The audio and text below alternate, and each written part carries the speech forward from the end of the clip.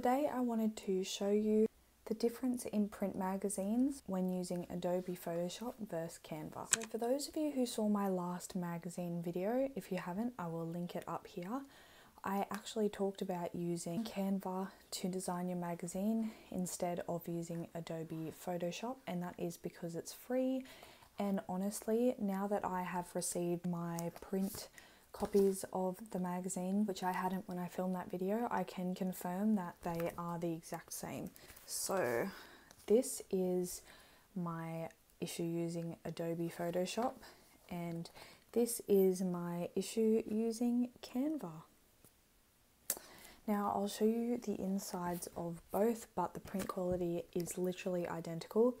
I print mine on MagCloud. These magazines just show how good of quality MagCloud prints, and I suggest MagCloud to everyone who's in the magazine business because you can order as little as one copy and it's not very expensive at all. And they are amazing print quality, like the print quality is as good as that of a magazine that you would see anywhere, like Vogue, for example. So, of course, you have to use high quality images.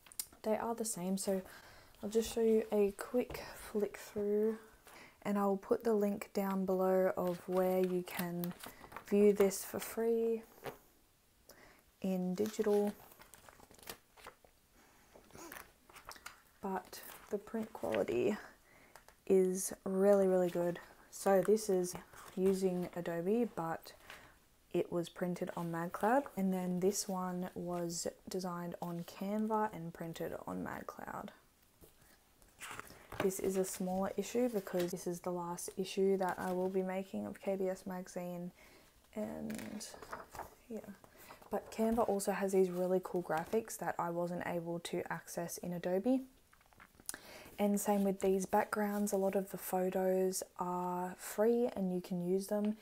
Um, with Adobe, I actually had to go and find images and get permissions from photographers and everything, but Canva is really good and free and it saves a lot of time as well. You can also make on Canva these graphics. You can remove the background basically, so make them into a PNG image. And it just looks really good. All those titles and those graphics are all Canva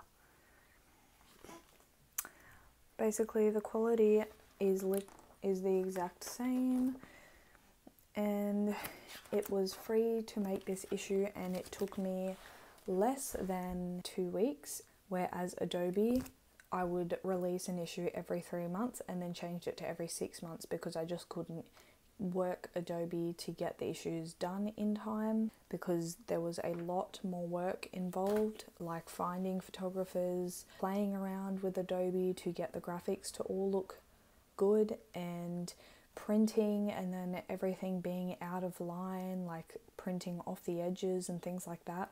Whereas Canva has grids on there and they just make it super, super easy to know where everything is positioned on the page and it's just really, really good. So I highly suggest Canva. And I just wanted to show you guys the difference now that I have the printed copy in case you were wanting to use Canva and now you know.